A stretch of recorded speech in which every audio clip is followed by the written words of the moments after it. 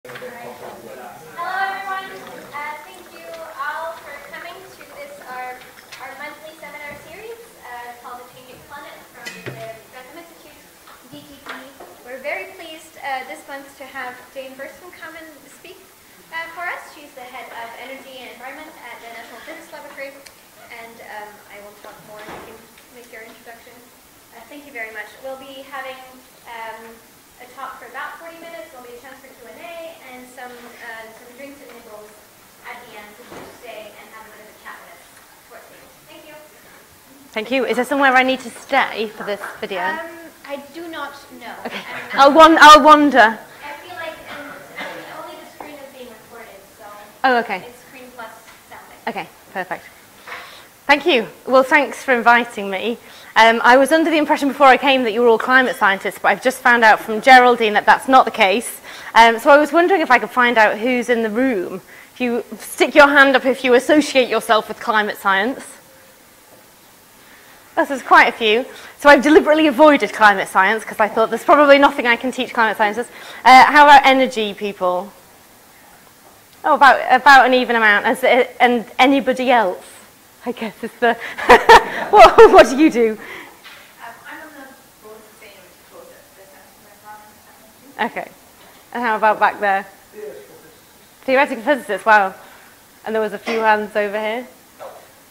Health. Okay, thanks. Well, if I'm uh, telling you stuff you already know, please do this kind of motion and I shall hurry up. Uh, and if there's anything that you didn't understand, then uh, please ask a question. And I think we're, I, I'll try and time this for about 35, 40 minutes so that we've got a good 15, 20 minutes for questions at the end. Um, so I was going to cover uh, four questions. Uh, how will energy systems adapt to a changing world? Uh, what are the drivers for global energy transformation? Can we make the transformation happen in the time scale that we're aiming for? Um, and what are the opportunities, and then finish up with what are the barriers and uh, some recommendations uh, as to ways that maybe we can overcome them. Uh, so first up, oops, the energy, how, how will energy systems adapt to a changing world? Um, well, lots of predictions about the future and deadlines for uh, climate change and how we want to transform the energy system focus on the world in 2050.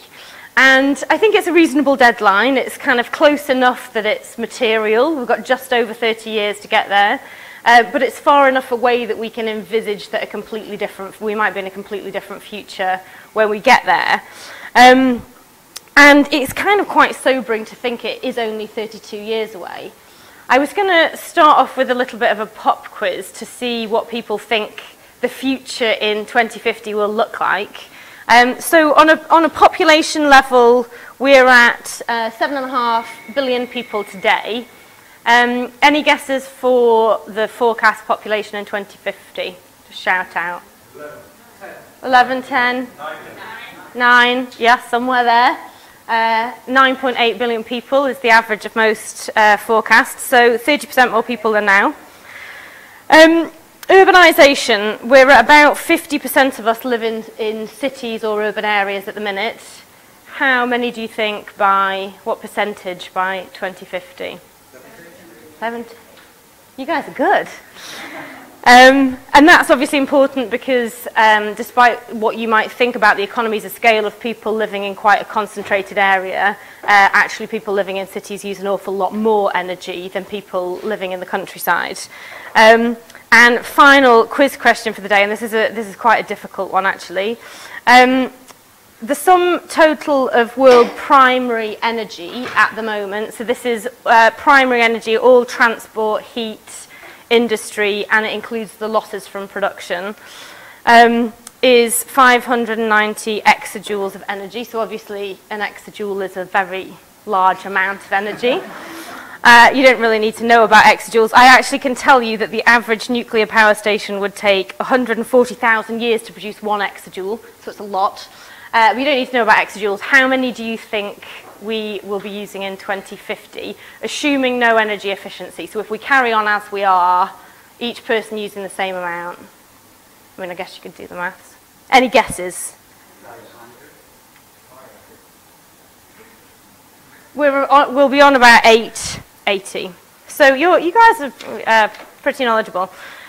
And obviously this increase in demand isn't unprecedented. Um, in the last 32-ish years, uh, we have gone from uh, four and a half billion people to seven and a half, so 65-ish uh, percent increase in population, but energy demand has increased by, well, it's more than doubled.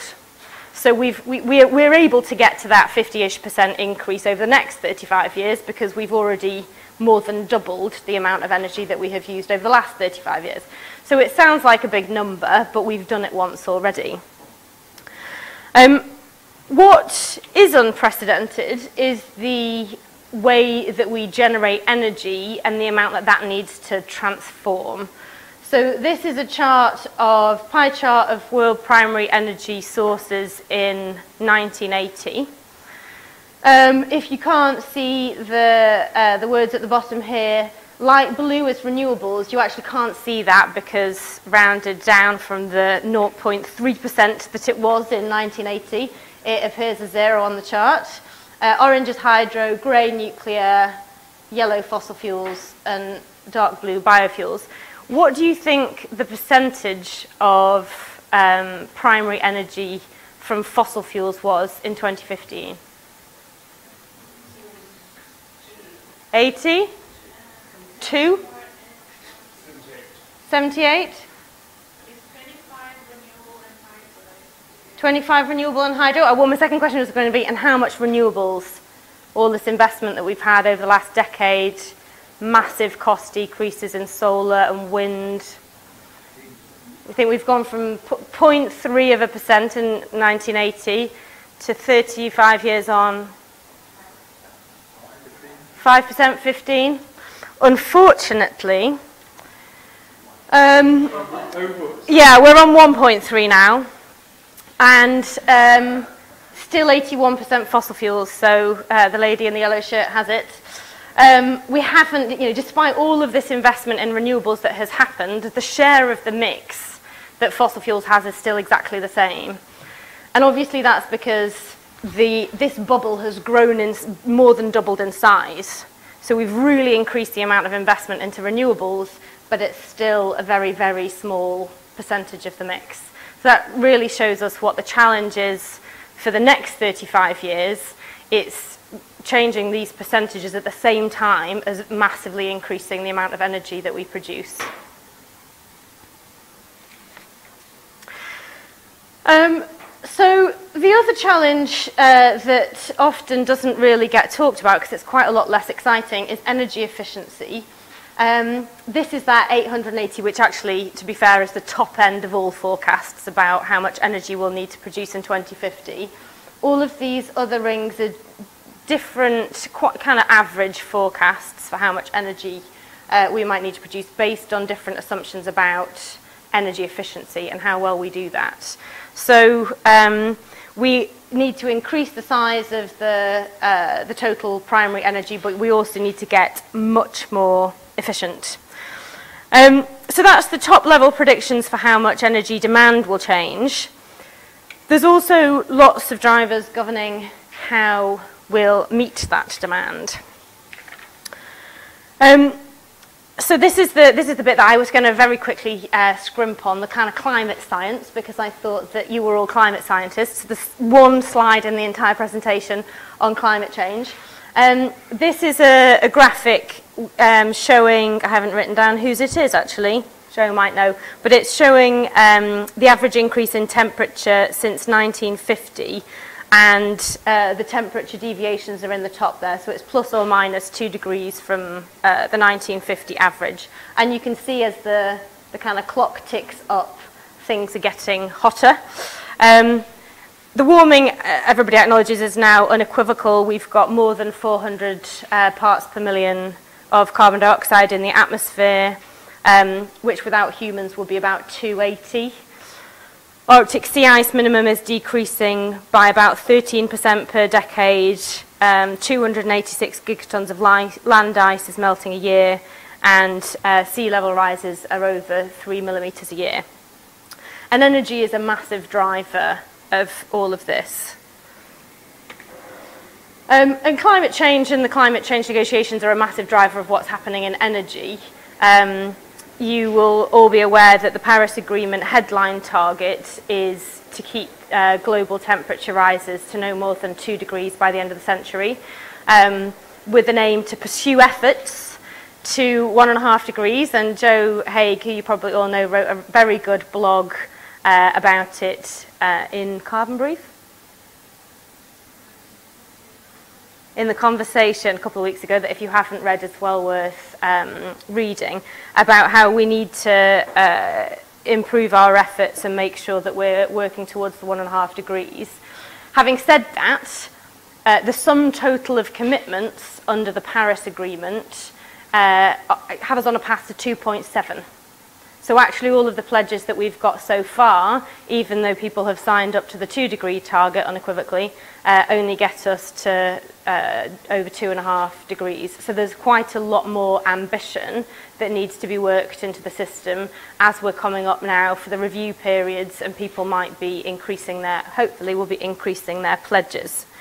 Um, and it obviously has really big implications for energy the International Energy Agency says the full implementation of these pledges, so this is to get us to two and a half degrees uh, rather than one and a half, will require the energy sector to invest US dollars of 13 and a half trillion in energy efficiency and low carbon technologies from 2015 to 2030, an annual average of 840 billion US dollars a year. So quite a lot of investment required to get to the, the pledges that we've got, which also need to be made much more ambitious. So driver number one um, is absolutely climate change. The second driver for transforming the energy system is security of supply. This is a map of um, gas pipelines to Europe And uh, you'll have seen after the, um, the events in Salisbury the headlines in the Telegraph about uh, how much of our gas we get from Russia. Carbon Brief then um, found out that it's actually less than 1%. So in the UK, we're all right um, as, as far as relying on Russia goes. But obviously, gas and oil come from many volatile parts of the world. And so energy security is still an issue for the UK. Uh, in Europe, there is I think it's about 40% of Europe's natural gas comes from Russia. But the level varies significantly. And obviously, renewable energy is one very good way for countries to have security and control over their own energy supply. The third driver, um, which is talked uh, quite a lot about at the moment, is energy prices and affordability. This is a chart of UK energy costs um, electricity and gas per kilowatt hour. The numbers are quite hard to see, but you can kind of see the trajectory uh, over the last, well, the 10 years from 2004 to 2014. And electricity prices increased 63% and gas 115% over that decade. So there's people, the, the fuel poor obviously care about this the most. That's people for whom um, a significant percentage of their income is spent on energy. But it's a, it's a big deal for lots of people and it makes the headlines a lot of the time. So it's something that uh, the government cares a lot about. And obviously there's a lot of things affecting the price of energy, uh, global oil and gas price fluctuations, um, volatility and exchange rates, and um, the variety of where, where you get your imports from, basically, which countries you're getting them from and what the conditions are in those countries, and also the weather. Um, but uh, obviously for renewables, they don't suffer from many of those things, the exchange rate volatility, they're more stable, they're more predictable, and costs are going down as technology matures.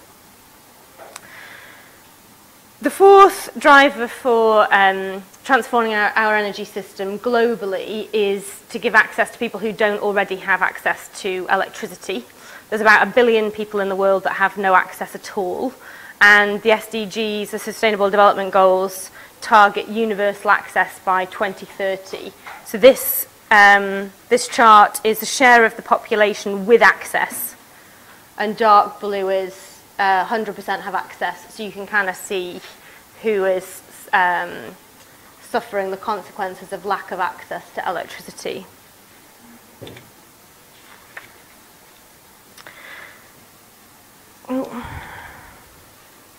So can, can we make it? Uh, it's a, a huge transformation, lots of really important drivers. Um, is it possible? Uh, can we get there? I think so. Um, it's both technologically and economically possible. Um, technologically, we do, I mean, we obviously need innovation. I work uh, in innovation in both of the jobs that I'm doing at the moment. And uh, yet it's also fair to say that we have many of the technologies that we need and uh, a lot of the work needs to be in figuring out how to scale them up quickly and redirecting finance uh, to these sorts of technologies. And this is uh, uh a few of them they're obviously not just about electricity and power, um, energy storage, uh, energy efficiency for the home, and transportation has a lot uh, to do with it as well. And I think applications like um, electric vehicles, hydrogen vehicles, will drive a lot of the system change.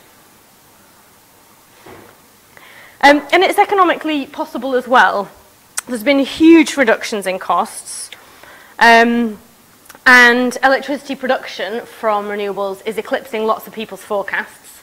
I took um, some forecasts from the US Department for Energy. They're usually pretty good at this kind of thing. Um, they used to have a lot of people working there on renewables. And um, so these are their predictions for the amount of energy, the, their 2006 predictions for the amount of energy that will be generated 10 years hence, so in 2016, from solar and wind. They got it wrong. It was quite a bit more. How far do you think they were out? Ish. By how many times? Have a stab. 100. 10. 49 times for solar, four and a half for wind. So they got, they got it wrong. And what I find quite amusing is all of these uh, different predictions from US Department of Energy, uh, the International Energy Agency, Bloomberg, loads of different people with a lot of resources behind them making forecasts. And for renewables over the last decade, um, the best forecasters have been Greenpeace, which I quite like. Um, and actually, before we, before we move on, one of the things that I was going to say about this is, you know, why are people getting it, why is it so hard? Why are people getting it so wrong as this when they uh, really should know better? And the answer is that these cost reductions that have come in for both of these two technologies, everybody knows that they're going to happen at some point, but nobody knows exactly when. And when they do happen, there's a hockey stick, there's an, there's an exponential increase in well, decrease in cost and increase in uh, installations when, when that tipping point happens. And when you see the forecasts, they're always a straight line trajectory from now. So people just uh, are predicting the same, the same amount of growth as last year. And so in no given year will they predict that this is the year that that's gonna, that, that hockey stick effect is going to take place. Um, So this, is, this shows that basically for solar. This is the cumulative installed capacity um, for solar power from 2000 to uh, 2014, so similar-ish period that they were trying to predict. And that's, they're the installations going in. And at the same time, this blue curve is the costs coming down. And you can kind of see tipping point in costs, tipping point in installations at the same time, which makes sense. Um, so yeah, it wasn't a huge amount of time ago that solar panels were only cost competitive on satellites and um, the cost has dropped very significantly. Um, so what are the opportunities? I wasn't going to dwell a huge amount of time on this, maybe we could pick it up in the questions a bit more. Um, I wanted to, to talk a little bit more about, well, at least mention transport and heat, because I think in uh, talks about energy, people tend to focus on electricity. Um, and obviously there's huge opportunities in electrifying transport and heat um, and then decarbonizing uh, electricity production. But there are also other opportunities like using hydrogen in vehicles. Uh, there's research at the moment going into uh, whether or not you could combust hydrogen for heat in homes as an alternative to electrification. Um, and yeah, so it was just worth flagging that. Um, demand management, it's not just about producing energy or energy efficiency, avoiding it, it's also about shifting it and evening out peaks in demand or shifting demand to times of the day when renewables might be more likely to be generating. So that's one very ripe area for innovation. Um, One other point that um, I find quite interesting is that the new entrance in this um, energy trans that this energy transformation uh, are creating aren't just uh, small and medium-sized companies. I think when you think of innovation, or at least when I do, I think of you know some engineer in their garage uh, with some whizzy new technology that they've invented, getting little bits of knowledge transfer grants. But actually, many of the new entrants, in, um, given the energy transformation, are existing very large companies that just happen to operate in a different sector.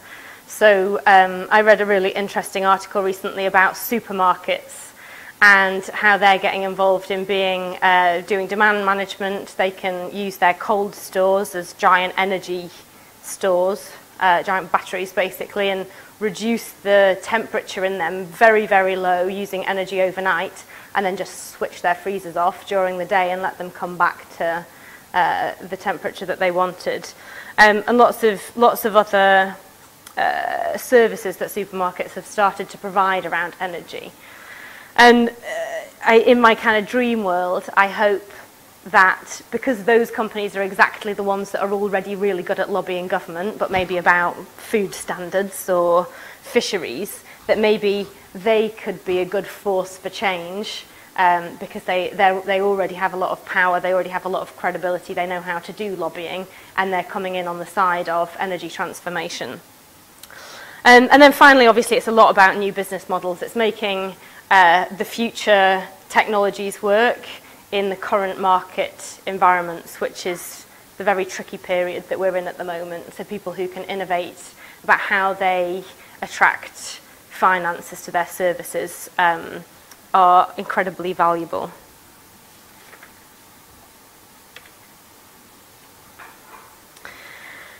Um, so the last question, what are the barriers and how can we overcome them? I've got four barriers and five recommendations because I wanted to uh, weight the talk towards positivity, uh, even though there's a lot getting in our way. Um, so the first barrier I have called innovation happens everywhere. Um, I think it's quite easy to think of innovation happening on you know, the length of a wind turbine blade or the efficiency of thin film solar PV. And it's easy to forget that actually there's loads of innovation happening in oil and gas as well. Uh, you don't need to worry a huge amount about all of the different lines on this chart. It's the amount of um, gas extracted in the US. If you just look at the orange line over a six-year period, there's a huge increase in the amount of gas from um, shale wells, and that was because of advances in tech drilling techniques and the technology used to extract that. So I think it, you know, we, we must always bear in mind that whilst we're thinking innovation is going to get us a long way with renewables in the fossil fuel sector, there's lots of innovation happening at the same time. So it isn't the case that innovation will decrease costs in uh, renewables and fossil fuels will just stay static. Actually, fossil fuels are advancing as well. It's getting cheaper to extract, it's getting easier to extract via different um, mechanisms. Second barrier to the transformation is that uh, at the moment oil is cheap and there is no price on, uh, not a, really a meaningful price on carbon. Um, I don't know what the oil price is at the minute. I saw a couple of weeks ago it was about $60 a barrel. Um, I know as recently as a year and a bit ago it was about $30 a barrel. Um, and the carbon price last time I looked was about 10 euros um, for, a, for a ton of carbon. So nowhere near the high oil prices and the high carbon prices that we would need uh, to catalyse the amount of investment that's required. Um, and whilst there's some promising moves, like uh, China is implementing a national carbon trading scheme, we, our experience in Europe is it's quite difficult to do it well in practice don't really need to embellish this one, do I? Politics. Uh, it's being filmed, so I shan't say um, too much. Um, the, I guess the energy implicating things that uh, President Trump has so far announced, things like repealing the Obama Clean Power Plan, um, which means that coal-fired power stations don't have to be phased out anymore. That is still being fought in the courts, uh, but that would not be a step forward in terms of emissions reductions um, the very visible move to uh, not sign up to the Paris Agreement um, and uh, attempted very large cuts to the budgets of organisations that historically have uh, protected the environment and um, uh, impose the regulations that are already in place around emissions, especially for shale gas wells and uh, flaring. Uh, the EPA um, proposal is uh, more than 20% cut in the next year. And then the final barrier, uh, before we move on to more positive um, vibes, is the unintended consequences of the transformation. Um, I don't know how far this is really, I don't think it's been huge in the news, but there's quite a lot of uh, human rights abuses in mines, uh, extracting things like cobalt, which we, we need for high energy density batteries, and there's lots of um, examples of unintended consequences around, say, the toxicity at the end of life of some technologies like batteries that we're going to need to uh, get around if we're going to deploy them at scale. They're not as perfect as we might like to think. So what do we need to do? Uh, well, five recommendations. so the first one is uh, around long-term policy. Um, for policies to be successful, they have to be well thought through over the long term. This, um, the example that I wanted to give is uh, about offshore wind targets in the UK. Around 2011, the government had a target of growing offshore wind generation by 30% a year up till 2020. So every year they were going to increase it by 30%. So there's going to be a huge increase, and this was the, the UK 2020 offshore wind target, driven by the, the targets that we'd signed up to in Europe for 20% of our uh, energy from renewables by 2020. Um, and very controversially, the Committee on Climate Change said um, that they didn't think this target was advisable. Now, a lot of people think of the Committee on Climate Change as kind of environmentalists in uh, government um, disguise, And so people were quite upset with them that they recommended that this target should maybe be, be made smaller. But the reason that they did was because they said it wasn't going to be cost effective um, and that we wouldn't, the, the UK as a whole wouldn't benefit economically. And that's because there was absolutely no target for after 2020. So we had this big um, ramp up to 2020, but then as far as the industry was concerned, we weren't going to implement any more offshore wind. And so that what the Committee on Climate Change was saying was that actually isn't very convincing for industry to base any manufacturing here because they know that they can serve this country for 10 years and then maybe there's going to be no more business. So we won't get any jobs out of it.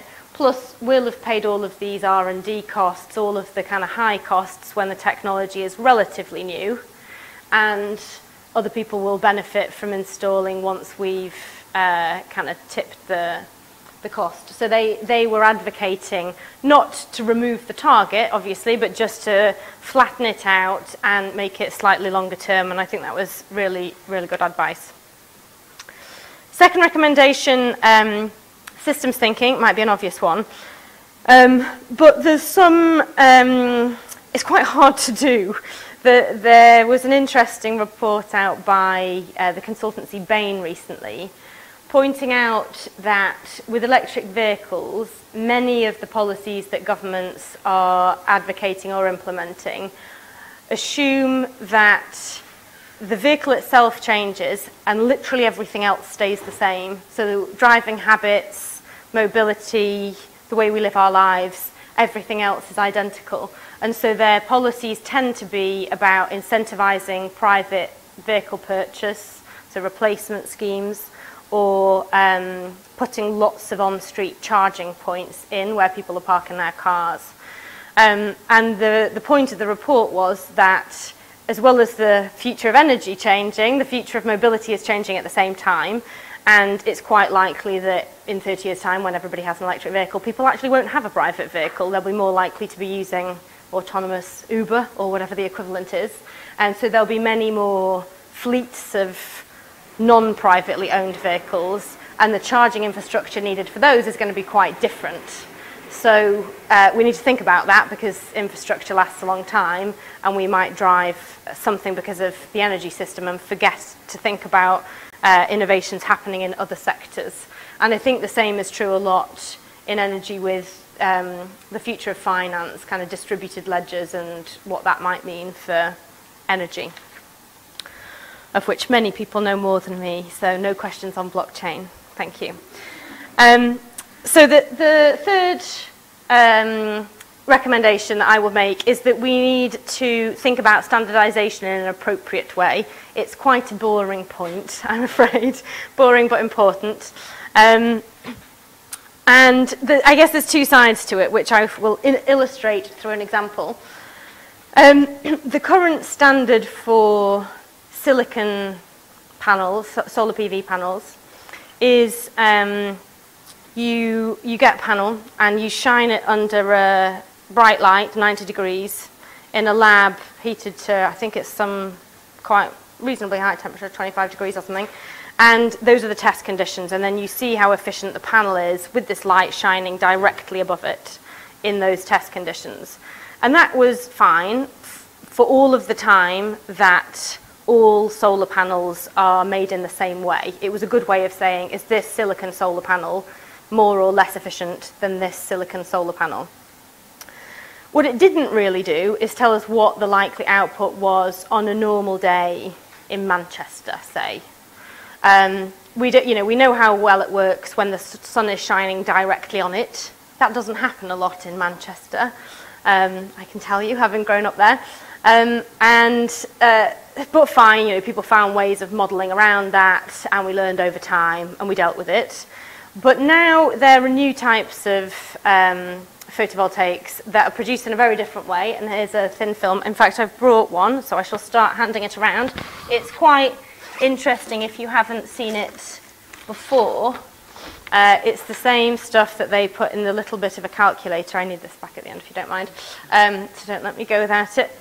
Uh, and that, the nice thing about that is um, the people who wanted uh, our lab to test it just stuck a uh, an address sticker on the back and just popped it in the post, not even in an envelope. So they're reasonably resilient now. Um, but the thing about these is that they work better uh, in more diffuse light.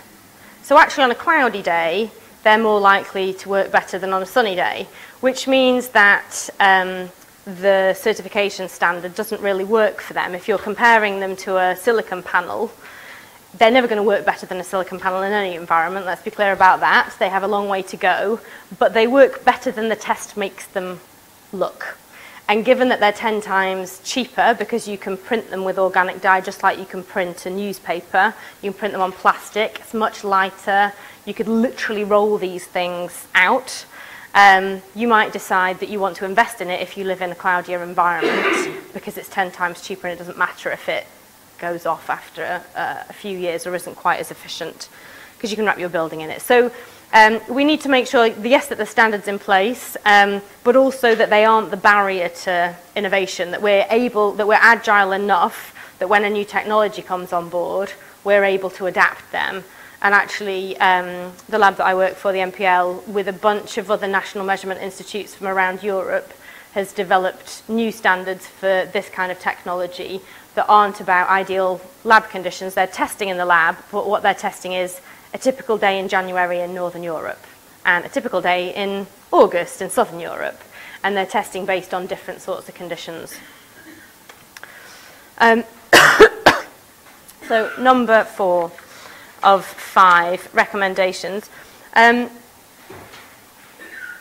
I think we need more of a culture of entrepreneurship. I um, have brilliant memories of um, uh, a, a day and a night and a day that I spent at Imperial in the engineering lab, which I think is over there somewhere, um, locked in uh, by one of your engineering professors. Um, and with a bunch of other people, quickly say. Um, and uh, it was through the climate kick we were running a hackathon for innovators. And uh, we, we'd let this guy loose on the program, and he had them doing all kinds of things. The bubble wrap is because we all thought that we would be going home to bed uh, at night, but instead of allowing us to do that, he'd created a small corner um, full of bubble wrap that acted as bedding and anyone who was lightweight enough to want to have a bit of a sleep uh, was felt could feel free to uh, take a bit of bubble wrap and go find a, a desk to sleep under. But I, I think that there's not enough of that. Uh, the climate kick was really uh, is really good at um, kind of cross-disciplinary work, uh, helping students get experience of running a business, run, doing competitions, and many of the students who came out of their PhDs from that ended up um, choosing to run their own business rather than um, find a job that somebody else had created. And I think uh, that definitely within Europe, it's not our speciality, entrepreneurship, and we need to get a lot better at it. Um, so we need to do more to foster that culture.